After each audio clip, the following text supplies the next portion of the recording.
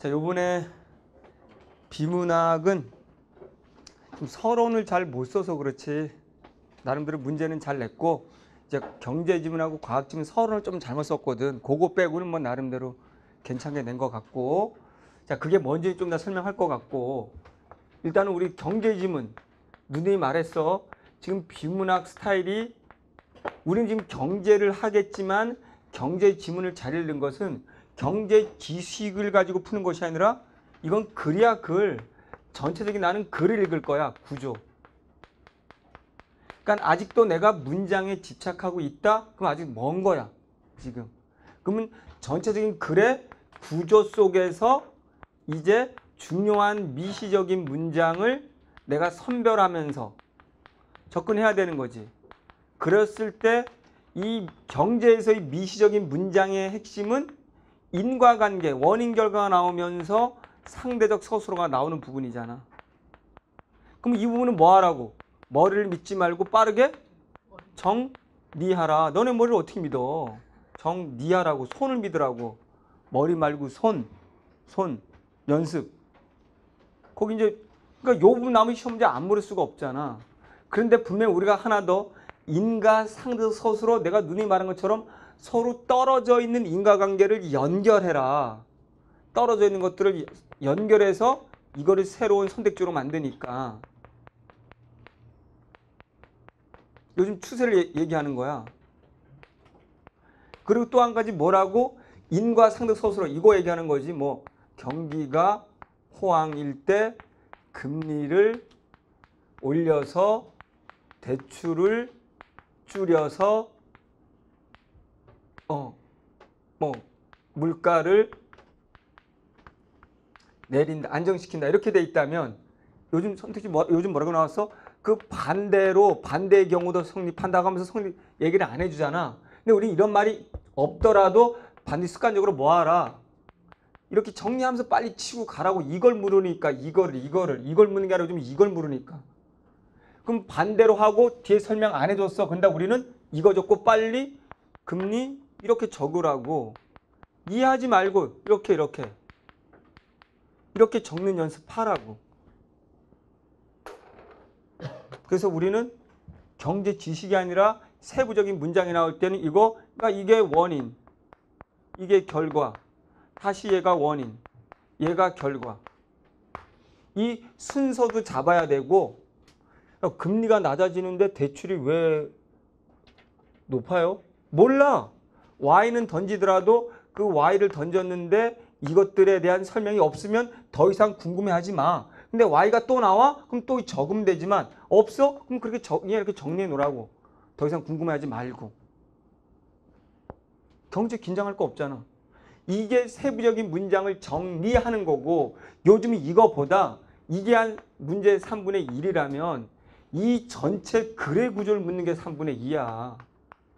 그러니까 전체 구조 속에서 얘들이 나올 때는 이건 정리하고 나머지는 전체 구조를 보는 거. 그게 중요합니다. 그렇게 해서 빠른 속도로 읽어 나가야 될 것 같아. 그게 무슨 말인지를 한번 보도록 합시다.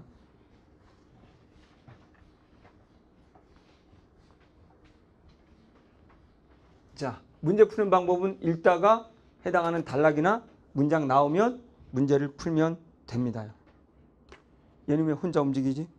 아니구나 혼자가 눌렀구나.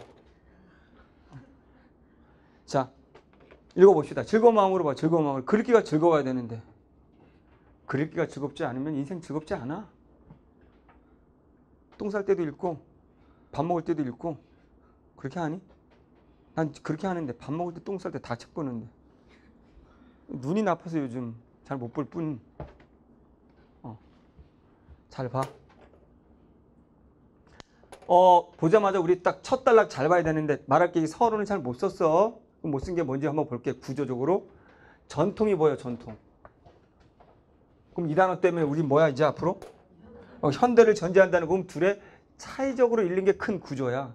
이 글은 전통이 보였기 때문에 아, 전통과 현대를 비교하겠구나. 그러나 우리는 알지 비교하더라도 차이점을 중심으로 읽는데 얘네들의 뭐는 같을 것이다 범주는 같을 것이다 비교하는 데서는 그러면 상대어 나올 때 집중하라. 경제 지식 자체에 집중하지 말고. 그러면 또 뭘 봐야 되는지 한번 잘 봐. 글을 읽는 방법이야. 경제 일도 몰라도 돼. 전통적인 통화 정책은 정책 금리를 활용하여 활용하는 게 금리네. 금리를 활용하여. 이거 활용이니까 하우지. 하여 물가를 안정 됐네. 시키고 경제 안정을 도모하는 걸 목표로 한다. 첫 단락 첫 문장 잘 보기. 그러면 전통적인 통화 정책이 중심하잖아. 그건 전통적인 통화 정책. 정책 어떻게 하는 건데? 하우? 어, 금리로 하는 거야. 금리 가지고 뭐 하는 건데? 어, 물가 안정시키는 거야. 물가 안정시키고 또 뭐 하는데? 경제 안정까지 시키는 거야. 그럼 이게 첫 문장이야. 그럼 우리가 여기서 뭐가 궁금해 이제? 어, 금리가 어떻게 물가 안정시켜? 이거지. 이들의 관계지. 100%. 근데 중앙은행은 경기가 이런 단어, 과열, 침체 이런 건 알아두고 이제 위로 올라가. 경기가 과열되었을 때 이제 우리가 기대한 게 나와. 금리 인상을 통해 경기를 진정시키고자 한다. 됐네. 그러면 하나 더 추가된 건 뭐야? 경기가 위 과열될 때 금리 인상 이렇게 되지 뭐 금리 인상. 그랬을 때 얘가 해결된다. 이렇게. 그럼 또 궁금해. 안 나오면 그냥 넘어가도 되고 야 금리가 인상되는데 왜 물가가 안정돼? 그러면 정책 금리 인상 다시 받았어. 인상으로 시장 금리도 높아지면 그럼 정책 금리하고 시장 금리는 다른 건데 같이 가는구나라는 거 알면 되지. 그러면 얘 금리 인상으로 이제 궁금한 게 나와 추가되는 상대 소수가 나오네. 같이 연결해. 금리 인상으로 인해서 시장의 금리가 이렇게 니네만 알 수 있는 단어로 빠르게 니네만 알 수 있는 단어로 이건 정책 금리겠지. 정금, 시금 이렇게. 너무 줄여놔서 나중에 이거 이게 무슨 말인지 이거 헤매다가 또 시간 갈 수도 있지. 알아서 잘해, 알아서. 그렇지? 실제로 이게 안 보여가지고 헤매는 사람들 있잖아. 잘 정리해.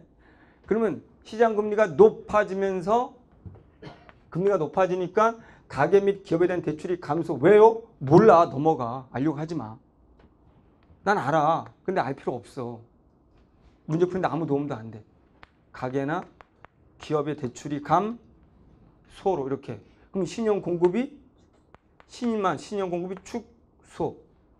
그러면 신용 공급의 축소 계속 이어가잖아. 신용 공급의 축소는 경제 내 수요를 줄여서 이렇게. 그게 바로 결론 물가를 안 정 이렇게 되는 거네. 그럼 이제 상대 소수가 나왔네. 됐지? 이거 이해하지 마. 원인 결과 원인 결과 원인 결과 인과가 됐고 상대 소수로 보면 돼. 이거 이게 왜 그렇지 따지지도 마 묻지 않으니까. 그걸 물으려면 다시 설명해야 된다고. 그러니까 얼마나 좋아. 그럼 여기에 반면 나왔잖아. 경기가 반면이 침체. 침체될 때는 반대의 과정. 이런 게 나온다는 거지. 요즘 그래서 여기서 시험 내낸다는 거지. 여기서. 이런 걸 봐야 되지. 그러면 이런 말 없어도 써야 된다고 우리는. 뭐? 경기 침체. 그러면 정책금리 인하.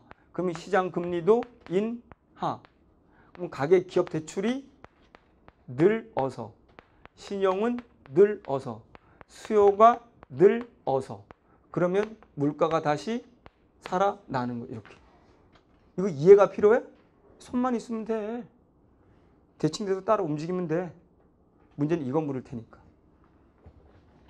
그러면 우리가 이게 진정한 첫 단락이라면 이게 진정한 첫 단락이라면 이제 뭐가 나와야 되냐면 이거를 가지고 실제 이걸 가지고 나타나는 사례가 나오고 또는 이거에 대한 문제점이 제시되면서 뭐가 나와야 돼? 우리가 기대한 대로 전통이니까 현대가 나와야 되는 거거든. 현대가 나오려면 현대가 그냥 튀어나오면 안 되잖아. 그지? 논리상 우리 다시 한번 전통 나온다는 건 뭐 나올 거라고 예상했어?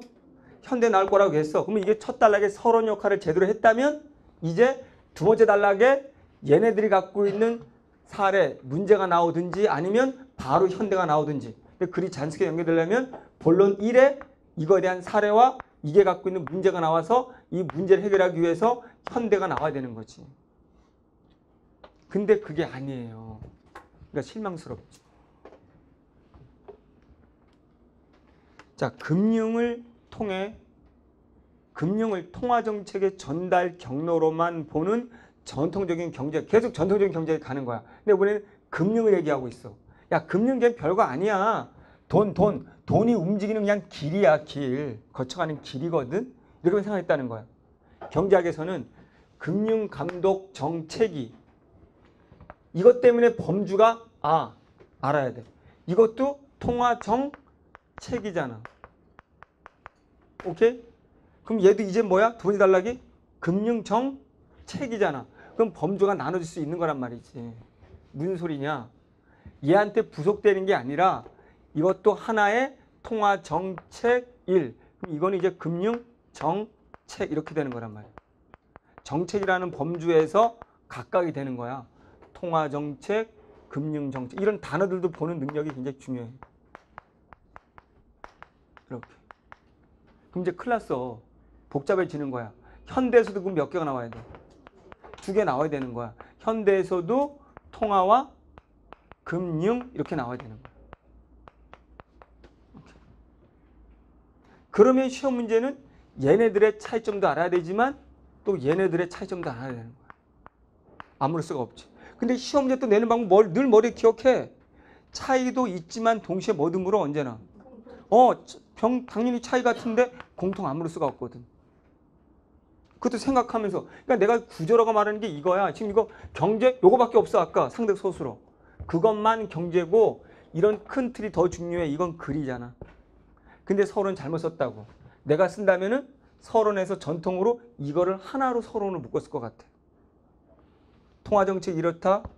이에 반해서 금융을 좀 무시했다. 이 금융정책을 무시한 이유는 이래서 이렇게 금융정책을 펼쳤다. 라고 말해야 되는 거지. 그 다음 달라. 근데 이러이러한 것들은 한계가 있었다. 이래이래서. 그래서 나온 게 뭐다? 현대다. 현대와 통화 이거 뭐 이렇게 나왔어야 되는 건데 이것도 하나의 범주잖아. 근데 이거를 서론에다 안 놓고 두 번째 달락을 놓는다는 건 서론 본론 결론 형태가 안 맞다는 뜻이지. 이해하니? 무슨 말인지? 이건 두 번째 단락이면 본론이 시작되는 거거든. 근데 얘가 본론이 아니잖아. 얘도 하나의 범위잖아. 전통에서의 금융정책. 과학도 그렇게 내고. 그러니까 이 사람들이 서론 쓰는 걸 모르고 있는 거지. 수능 때 이렇게 안 씁니다. 수능도 못 믿어. 작년에 논리학 지문이 개판이었던 것처럼. 논리학 지문이 가장 개판이었잖아. 봤잖아. 그러면 금융정책이 개별 이제 금융회사의 건전성 확보를 통해 금융 안정을 달성하고자 하는 미시 건전성 정책에 집중해야 한다고 보았다. 금융감독 정책은 그냥 에이 개별 금융만 잘 관, 관리해. 개별 동의요? 미시만 건전성. 개별 금융회사만 건전하면 돼. 이렇게 했단 말이죠. 그러면 고전에서의 금융정책은 눈에 들어온 단어. 개별.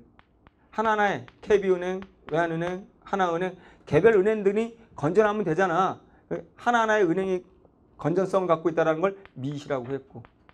그럼 우리가 추론할 수 있는 거는 현대는 뭘까? 어, 요거 요거 따라와야죠, 요거, 요거. 개별이 아니고 어, 전체. 난 이거밖에 안 보이던데. 그럼 미시에 반대? 그럼 거시. 이렇게 하면 되는 거지. 근데 전체라는 단어가 좀 읽어보면 나중에 뭐가 나오니? 금융 시스템이라고 나오고. 이게 눈에 들어와야 되는 거야, 이런 게. 안 들어오면 아직 그립기가 안 되는 거야. 경제가 아니고. 이런 것만 보여야 되고 다른 게 보이는 게 아니라. 이게 글 읽는 거라고. 그럼 이러한 관점은 금융이 왜 이제 이런 개별 미시에 집중했는가 아직 현대 안 나와서 우리 추론했지만 왜 기, 개별 미시에만 하면 된다고 생각했는가 금융이 직접적인 생산수단이 아니므로 직접 이런 단어 들어가야 되고 아니므로 단기 보이는 상대어 단기적일 때와는 달리 장기적으로는 경제 성장에 영향 미치지 못한다는 인식과 그럼 1. 얘네가 왜 개별 미시에 집중해 금융은 별로 신경 안 쓰고 어 장기적으로는 영향을 미치지 못한다고 생각해서 이유지. 과가 나오니까 두 번째도 있겠지. 자산 시장에서는 가격이 본질적 가치를 초과 상득소수로 위로 폭등 위로 버블 같은 말이야. 존재하지 않는다고 생각하는 효율적 시장 가설 몰라. X에 기인한다. 그러면 핵심은 이런 명사가 중요한 게 아니고 뭐다? 그냥 자산이 뭐한다? 법을 폭등하는 일이 없다. 이렇게. 이 두 가지 이유 때문에 개별 은행만 잘 잡으면 돼. 이렇게 생각했단 말이에요.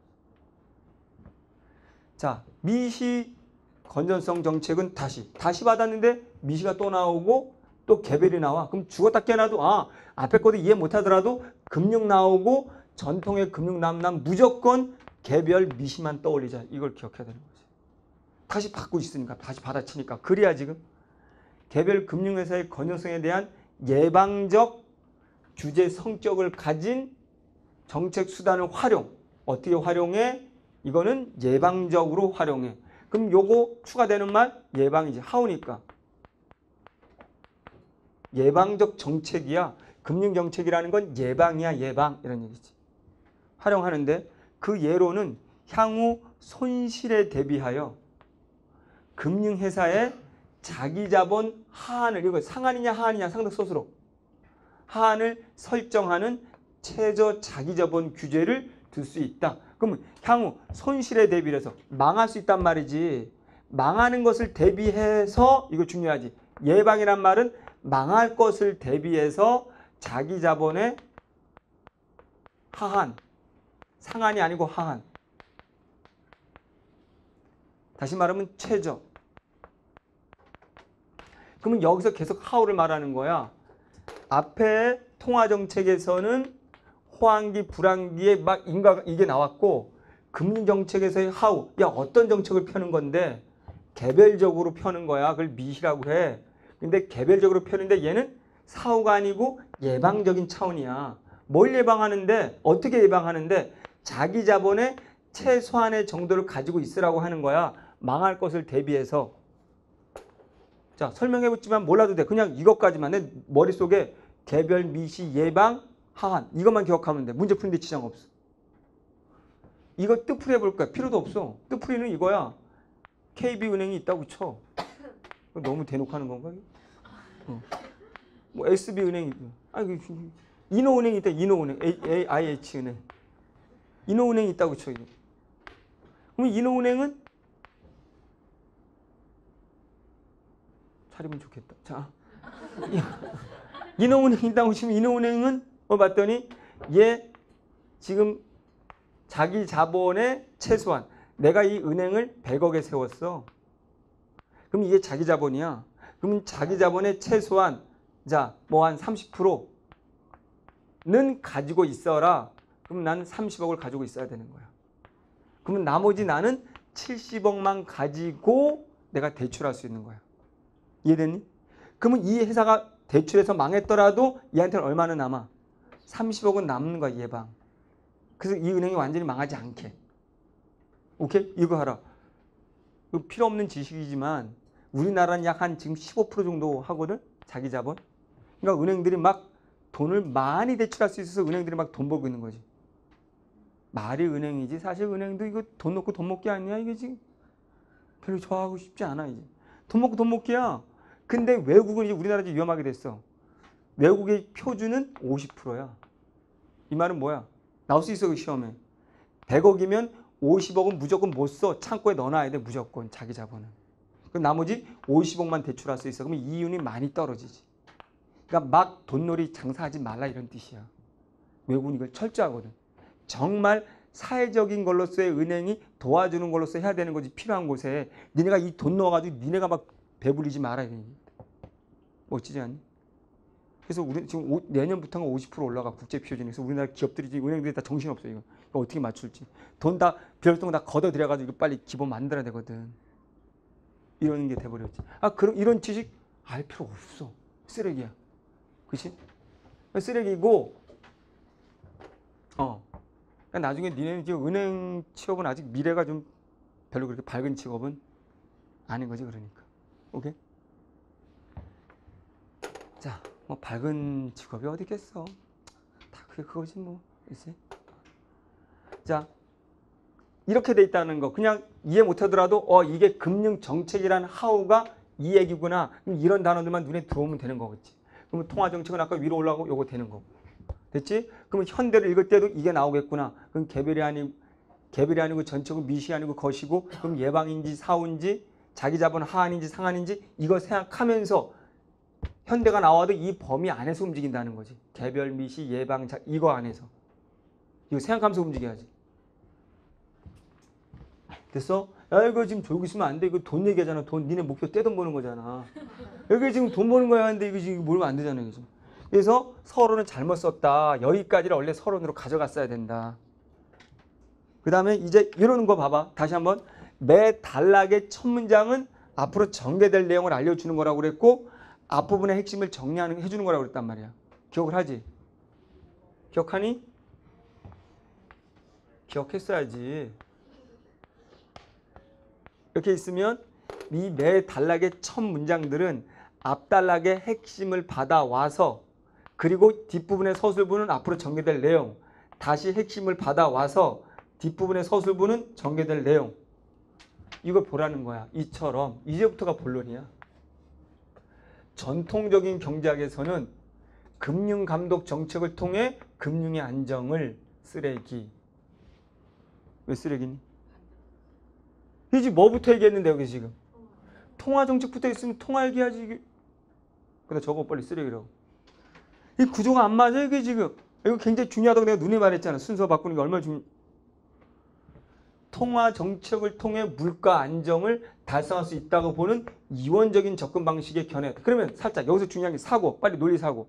아 나는 금융 정책과 물가 통화 정책을 따로 보지 않았는데 얘는 분명히 다르다고 말하고 있구나. 그럼 빨리 사고를 전환해서 야 앞부분에서 통화와 금융이 달랐어야 되는구나. 명백하게 내가 차이점을 가지고 읽었어야 되는 거구나. 라고 빨리 사가, 사고를 refresh 해야 돼. 빨리 바꿔야 돼. 이해돼? 읽으면서 빨리빨리 사고를 바꿔야 돼. 여기서 힌트를 주고 있기 때문에. 그러면 앞에서 아 통화 정책이 명백하게 이거는 다시 물가와 관련된 거였고 아 금융 정책은 확실하게 이건 금융과 관련된 거였구나. 근데 전통 애들은 이 둘 사이를 뭐로 보고 있구나. 서로 별개 이원적으로 보구나. 그럼 또 논리상으로 현대 나오면 또 뭐가 나와야 돼? 이원이냐 이론이냐를 물어야 된다는 거지. 오케이? 두 가지 여기서 아 앞에 핵심이 이렇게 갈라졌구나. 이원이구나. 근데 파트가 나왔어. 이제 뭐가 나와야 된다고 여기는? 이론이라고. 뭘 읽더라도 이론을 읽어야 된다는 거지. 뭘 묻더라도. 이론 야 지금 나 구조를 설명하는 거야 지금? 경제식 설명하는 거 아니야? 니네가 경제학과 가더라도 이 구조를 하면은 케인즈를 뛰어넘을 수 있어. 우습게 우습게 들리지? 우리나라 니네 서- 어디 경제학과 가도 다 뜻풀이 하고 있을 거라고 다. 경제 지식 전달하기 바쁠 거라고 근데 이걸 주...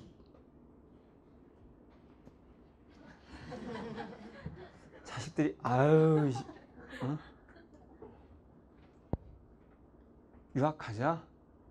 어, 그렇지. 아이비 가자, 아이비. 어, 담쟁이 가자. 예. 자, 담쟁이 맞니? 아이비. 자, 그러나 파트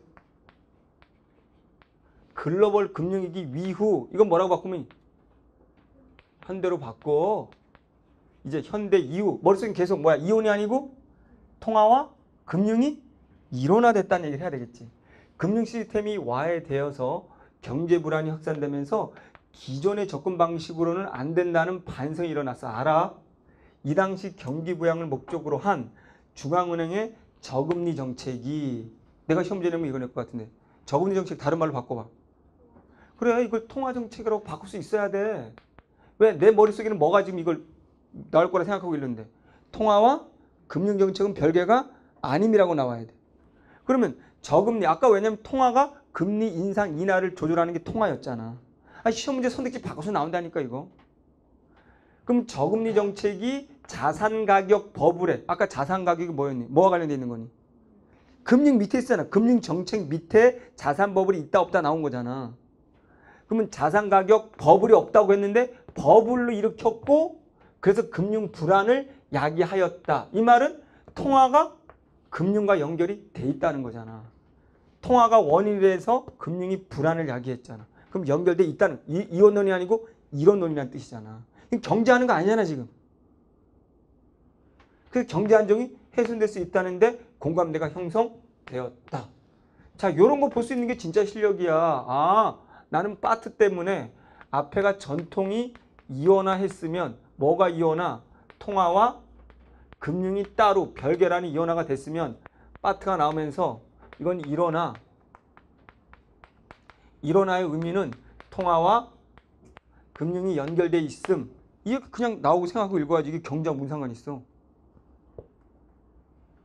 하버드 경제학과 가자고 어? 또한 쓰레기 문장이거든 이거는 여기까지 쓰레기 문장 또한 금융회사가 대형화되면서 개별 금융회사의 부실이 금융 시스템의 붕괴를 야기할 수 있게 됨에 따라 금융회사 규모가 금융 안정의 새로운 위험 요인으로 등장하였다. 맞는 말이야. 우리 그 위먼 오만 브라더스인가 바- 이름도 모르겠네. 그 미국 그 금융회사가 너무 커서 걔네들이 대출을 많이 해서 못 갚는 바람에 세계적으로 이게 금융 위기가 온 거잖아. 한 회사 때문에. 모르니? 아, 너는 뭐 상관없니? 미국의 거대한 금융회사가 주택담보대출을 너무 많이 했는데 그걸 못 갚으면서 폭락하면서 그게 세계 시장의 금융으로 파산이 된 거야. 기업이 너무 커서 그 나라가 빌려 그 한 은행이 빌려주는 돈이 세계 은행들이 50%가 빌려주는 거랑 맞먹는 거지. 그러니까 너무 한 은행이 크면 전체를 위협한다 이런 얘기야. 근데 그래서 중요한 단어가 규모야. 그러면 그 다음부터 규모를 어떻게 해결할지가 나와야 되는데 뒷글에서는 규모 얘기 안 나와 이제. 그럼 이거 하지 말아야지. 얘기하고 싶어도. 이해됐니? 아, 일단은 이거 봤을 때 규모 또 아니게 규모일 때 봤어야 되는 거야. 그래서 험하지 읽다 보니 규모 안 나오죠. 이의 기존의 정책으로는 알지 별개라고 보는 이 두 개의 정책으로는 안 되니까 이제 뭐 하자 합치자 이게 나와야 될 거 아니야. 안정을 확보할 수 없고 경제 안정을 위해서는 물가 안정뿐만 아니라 플러스지. 물가 안정은 통화 정책으로 잡을 뿐만 아니라 금융 안정도 잡아야 돼 금융 정책으로 뿐만 아니라 계속 합치자라는 얘기잖아. 그 결과 이제 미시에다가 미시 건전성 정책에 거시 건전성 정책이 추가된 금융 감독 정책과 개판이네 여기도. 앞에 또 뭐 먼저 말해놓고 물가 말해놓고 또 뭐 말해? 금융. 그냥 도구 스테이지. 금융 감독 정책과 물가 안정을 위한 통화 정책 간에 당연히 뭐 하자? 상호 보완을 해야 경, 당연히 예상한 얘기가 나온 거야. 지금 예상하고 읽었어야 돼 지금. 이거 지금 설명하려면 너무 뻔한 글인 거야. 지금 내가 설명을 하지만. 다시 앞에 전통까지는 뭐였는데 분리였어. 두 개를. 그럼 안 봐도 현대는 금융위기 이유는 합치자야. 뭘 합치자고 봤더니 억지스럽지만 이제 미시 금융 정책에 플러스 이제 거시 금융 정책까지 합치고 1. 이 금융 정책과 이 통화 정책 또 서로 연결시키자 이런 얘기야. 초점이. 그래야 우리는 전체적인 경제 안정을 찾을 수 있다. 둘이 별개가 아니다. 별개가 아니면서 동시에 이것도 봐야 되고. 그럼 이제 거, 이 중에서 거시 건전성이란 뭐냐? 이거 이 궁금했던 이제 이걸 얘기하는 거지. 현대 와서 미시와 다른 거시를 설명하고 싶은 거지. 거시 금융 정책. 그럼 안 봐도 얘네들은 머릿속에 이제 개별이 아닌 전체. 개별 나오잖아. 거시는 개별 금융 회사 차원이 아니라 금융 시스템의 차원의 위기 가능성이 낮아야 되고 건전해야 돼. 한 개별 운영이 건전한 거와 아무 상관없어. 전체 시스템이 위험이 낮아야 되고 건전해야 되고 거시 건전성 정책은 금융 시스템의 건전성을 추구하는 규제 및 감독까지 다 포함해. 그럼 거시 금융이란 이퀄 전체 금융 시스템. 이게 건전한 거다. 이게 안전한 거다.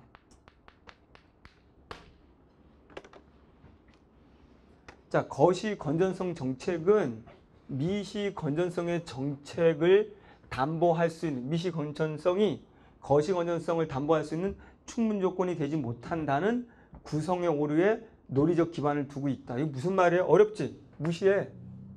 그냥 내가 쉽게 해석해봐. 아주 쉽게. 거시 건전성 정책은 뭐가 안 돼서 나온 거다. 아, 미시가 안 돼서 미시로는 안 돼서 나온 거다 하라고. 미시로는 부족해서 나온 게 것이다.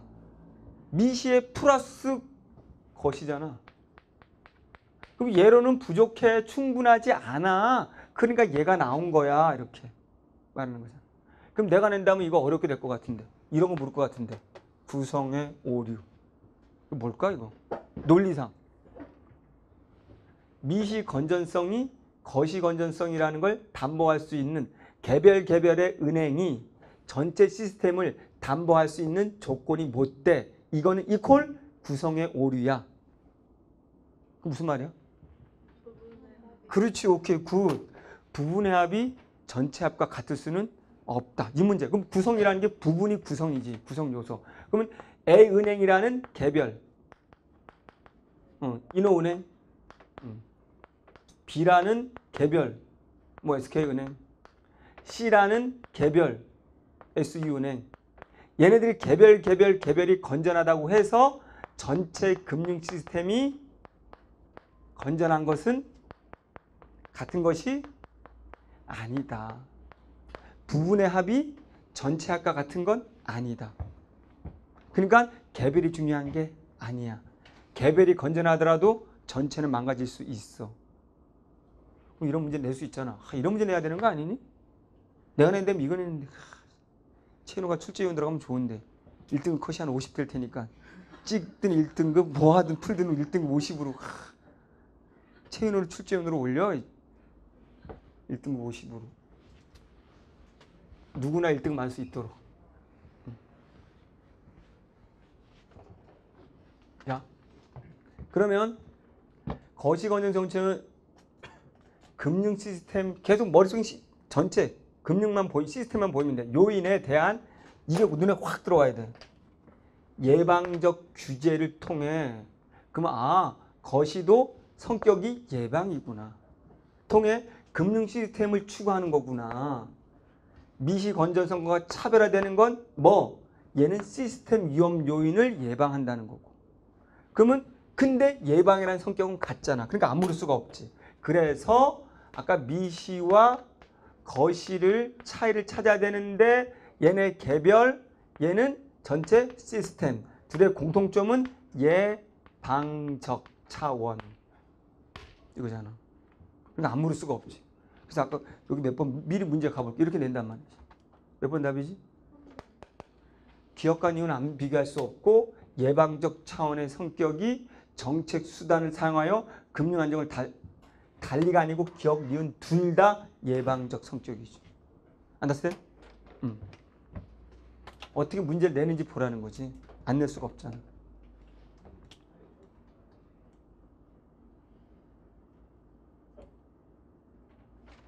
여기지. 자, 거시 건전성의 정책. 그럼 이제 알아. 아까도 얘기했듯이 야, 미시에서 얘네들이 개별, 미시, 예방, 그래서 자기 자본 체조 이걸로 하우였는데 망하기 전에 그럼 얘 거시에는 어떻게 하는 거야? 전체 예방 어떻게 하니 하우 이게 나와야지. 그러면 거시 건전성 정책의 목표를 효과적으로 달성하는 방법이 나오겠지? 어떻게 달성해? 똑같이 얘도 달성하는 방법 이렇게. 이에서는 경기 변동과 금융 시스템 위험 요인 간의 상관관계를 감안한 정책 수단을 펼쳐야 돼. 그러면 여기에서의 하우 예방은 경기가 변동됨에 따라서 그 변동과 금융 시스템 중에 위험 요인 이들이 연관돼 있어. 경기가 어떨 때 어떤 위험 요인이 생겨. 그래서 그 요인을 가지고 어떻게 통제할 거야. 하우가 아직 안 나온 거야. 금융 시스템 위험 요인은 경기 수능성을 가진다. 그럼 뭔지 모르겠지만 위험 요인이 뭔지 궁금했어. 이게 뭐가 위험한 건데? 어, 경기의 수능성. 경기를 그대로 따라가는 게 위험해. 뭔지 몰라. 설명할 거야. 즉 이제 나오네. 그럼 또 적을 준비. 호황 이런 말 나오면 주, 적을 준비해야지. 수능성이란 호황일 때 금융회사들이 대출을 늘려. 신용공급 팽창. 자산 급 등. 경기 더 과열. 됐어. 수능성이란 두 가지. 어떨 때? 호황일 때. 그대로 이제 또 상대선수로 나온 거야. 여기서 하우가 나오겠지. 호황일 때 음, 대출 늘. 신용 공급 늘. 공급 팽창됐지? 자산 가격 급등. 그러면 다시 뭐야? 더 경기 과열.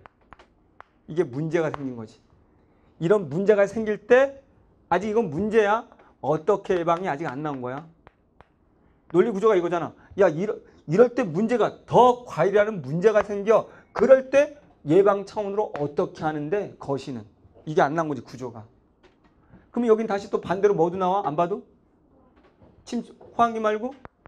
침체 불황일 때 대출 어떻게 해? 뭐 할 거 없어. 니네가 경제학자도 돼. 침체가 더 이런 문제가 생겼을 때 어떤 하우의 예방책 이건 이게 궁금하거든. 그러면 이거 정리해야 될 것이고 이건 이해가 아니고 정리해 놓고 이런 두 가지의 더 과열, 더 침체라는 이 문제를 이제 나는 궁금한 해결 방법이야. 예방책으로 이런 게 나타날까 봐 예방하는 하우가 뭔데 이거지. 가면 불황일 때는 알아 우리 불황일 때가 적었잖아. 불황일 때. 침체일 때는 이런다. 이를 완화할 수 있는 그 이제 나오네. 완화할 수 있는 정책 수단으로 하우로는 경기 대응 완충 자본. 이 하우가 이제 뭐야? 경기 대응 완충 자본 제도네. 이렇게. 음, 됐어 이제. 요거 했고 이제 진짜 마지막으로 어떻게 예방책으로서의 하우는 뭐니? 그 하우가 경기 대응 완화 정책인데 어떻게 하는 건데? 그럼 이제 두 개가 나와야지 대응 정책이 뭐 아까 경기가 너무 호황일 때는 어떻게 잡고 너무 침체일 때는 어떻게 잡아야 되는지 두 개 대책이 나오겠지. 자, 이 제도는 정책 당국이 경기 요거 나오네. 과열 첫 번째 일 때는 금융회사로 하여금 최저 자기 자본에 똑같네. 자소자 똑 공통점 아무럴 수가 없지. 최저 자기 자본의 추가적인 자기 자본, 즉 완충 자본을 쌓도록 해서 과도한 신용 팽창을 억제시키는 방법이다. 어, 그러면 이렇게 과도하게 늘어났을 때는 아까 본 것처럼 자, 이렇게 되면 신용이 과도하게 늘었잖아. 그럼 이 신용이 과도하게 늘었을 때 이 대응 방안은 뭐하라? 거시적인 방법은 자기 자본 원래 체조에 있었잖아. 이 미시에 다시 자기 자본을 추가로 축적해라. 것이 합쳐라. 그러면 자기 자본량이 더 늘어나겠지. 그러면 어떻게 돼? 그러면 신용 대출이 어떻게 돼? 줄어든다는 거지. 에, 무슨 말이야? 그냥 해볼 게. 몰라도 되지만 인과관계. 이거를 늘려서 신용을 줄이면 어떻게 된다? 자기 자본이 늘어서 자기 자본이 늘어서 그러면 신용 공급이 줄어서 그럼 이제 계속 아까대로 그냥 연결하면 돼. 신용이 줄어서 또 뭐야? 공급이 줄어서 어, 과열된 경기가 줄겠지. 그럼 반대로 침체기일 때는 어떻게 하면 돼? 자기 자본을 축적, 쌓는 것이 아니라 밀리는 게 아니- 아니라 자기 자본을 풀어서 시장에 내풀어 풀어서 신용을 반대로 늘려서 공급을 늘려서 이제 침체를 다시 살린다는 거지. 그럼 어쨌든 방법은 하우는 뭐야? 자기 자본을 더 쌓게 하는 거냐? 자기 자본을 푸는 거냐 이런 얘기지. 그럼 간단히 이렇게만 정리하면 끝이야. 근데 자- 간단히 정리해 볼게. 이 부분에서 아까 문제되는 게 다시 경기가 호황일 때 호황일 때그 적으면 돼. 대출이 늘고 신용 공급이 늘어서 무조건 다 늘지. 자산 가격이 늘어서 또 경기가 더 과열이잖아. 그러면 여기에 방법으로 자기 자본을 플러스 자기 자본을 더 축적해 대출하 이거는 아까 말했지. 더 축적해. 그러면 대출하지 마 이런 얘기지. 그러면 대출이 줄어드는 거잖아. 그러면 자연스럽게 대출이 줄어들면 뭐도 줄어들고 신용 줄어들고 자기 자산 줄어들고 경기가 잡힌다는 거지 이렇게. 아까 얘기했잖아 이거. 이노은의 자기 자본 100억에서 20억 자기 자본 갖고 있어서 80억만 대출했는데 이런 상황이 벌어지면 나라에서 뭐 야 자기 자본 40%로 높여. 그러면 20억 더 추가해서 자기 자본을 40억으로 쌓으면 나는 이제 얼마만 대출할 수 있어? 60억만 대출할 수 있으니까 대출이 줄게 되는 거잖아. 그래서 잡는 거잖아. 근데 반대로 침체기일 때는 대출이 줄고 신용이 줄고 자기 자본이 아니 자기 자본이 아니라 뭐야? 자산이 줄고 경기가 더 침체잖아. 이럴 때는 아까 회사에서 40% 자기 쌓아놨던 돈, 그러니까 20억 플러스 20억으로 쌓아놨던 돈을 풀어 이거지. 돈을 풀면 회사는 더 많은 대출할 수 있잖아. 그러면 대출이 늘고 신용 늘고 자기 자본 자산 늘고 경기가 산다 이런 얘기지. 그래서 어쨌든 하우란 예방적 차원의 하우란 이건데 미시하고 똑같은 건 뭐야? 자기 자본을 활용하는 거지. 아무럴 수가 없지. 공통점 자기 자본을 더 쌓느냐, 자기 자본 쌓아놓은 걸 푸느냐 이거잖아. 구조가 명확하잖아. 이건 경제가 아니야. 이 구조 얘기하는 거야. 둘 미시것이 분석하면 범죄가 똑같잖아. 개별, 전체, 예방, 예방 하는 방법이 자기 자본 체조. 근데 하나 더 추가한 건 자기 자본에 자기 자본을 추가하는 거라며 거시가. 미시에 하나 더 추가하는 거라며. 근데 이거를 언제 이거를 활용하니 투입하니? 호황일 때는 이렇게 침체일 땐 이렇게 활용하는 거야. 이거는 뭐니? 이거는. 이거는 통화 정책이잖아. 그러면 통화 정책과 여기에는 것이라는 금융 정책을 합쳐서 말한 거잖아. 논리가 엄청난 거지 경제 지수 묻는 게 아니지 선생님들이 이거 못 볼 것 같은데 뭐이 뜻풀하게 바쁠 것 같은데 근데 구조 보면 너무 명확한데 안 재밌니? 재미없는 눈빛이야. 이게 재밌어야 되는 거 아니에요? 구조를 이거 유지 다 주무시네. 돈 벌어야지 떼돈 벌어야지 지금 졸면 안 되잖아요 이거 지금. 자 경제를 얼마나? 그래서 완 그래서 완충 자본을 쌓도록 하고 완충 자본 경기 가 나오잖아. 침체일 때는 대출 풀어라. 신용이 충분히 공급되게 하라. 그럼 문제 쉽지 뭐 문제.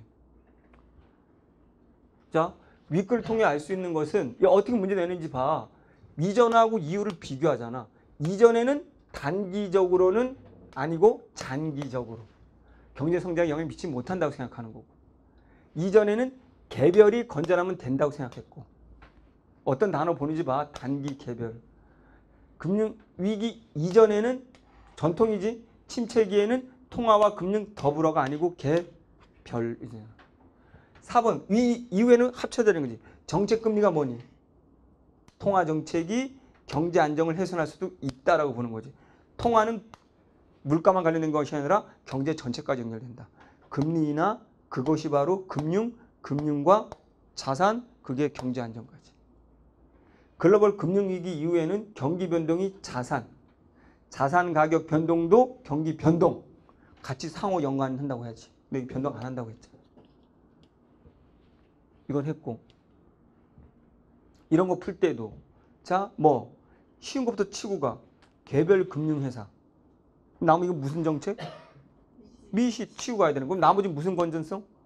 거시 그럼 D는 미시 B는 거시 찾으면 되는 거지 그러면 완충자본을 활용하는데 완충자본은 언제든 뭘 하는 거야 망할 때를 대비하는 거지 망할 때를 대비해서 망할 때라는 게 뭐니 불황이니 호황이니 침체 불황 일 때는 거지 그러면 망할 때를 대비해서 완충 자본을 뭐 하도록 해야 되는 거니? 침체일 때는 사용? 사용. 응, 침체일 때는 풀어서 사용해야 되는 거 아니야? 축적이 아니고.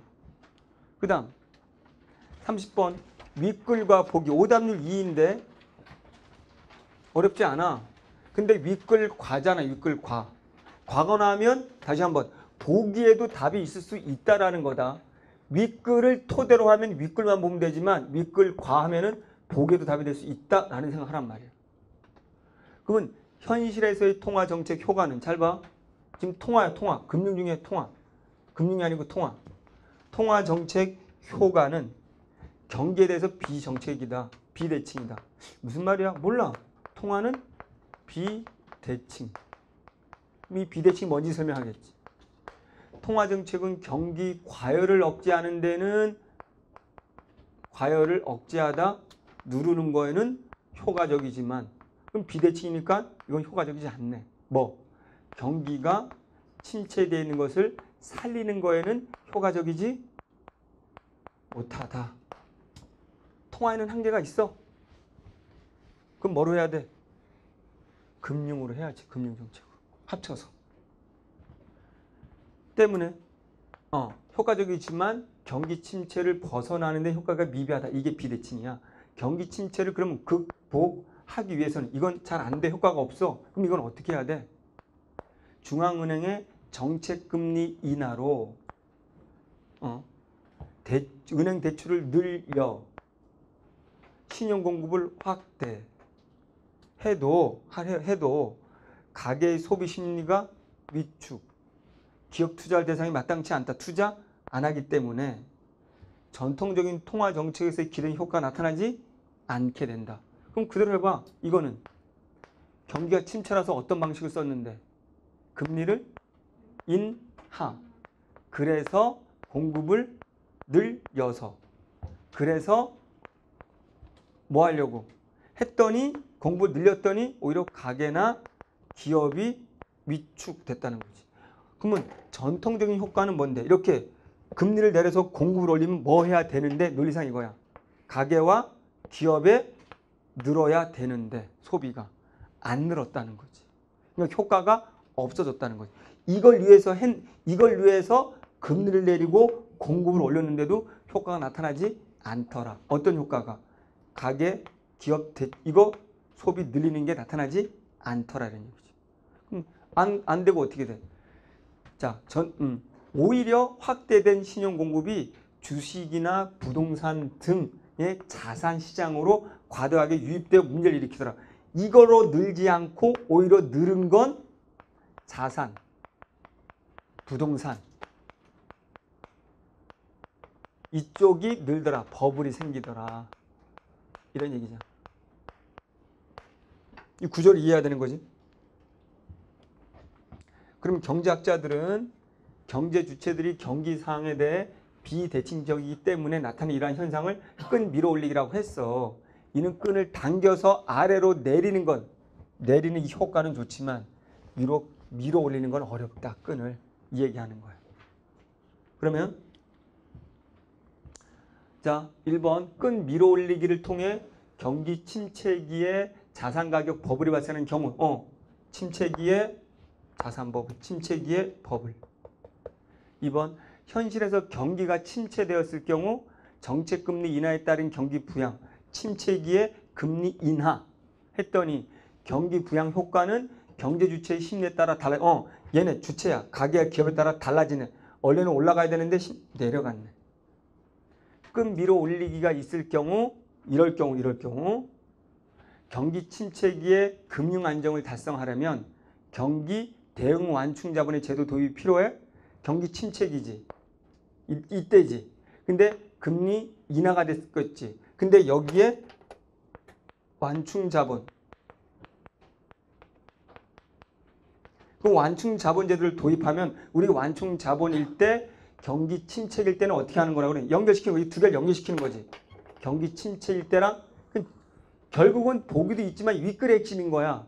침체기에 완충 자본이면 어떻게? 이때 돈을 최저 자본 쌓아놓은 거를 풀어라, 더 쌓아라.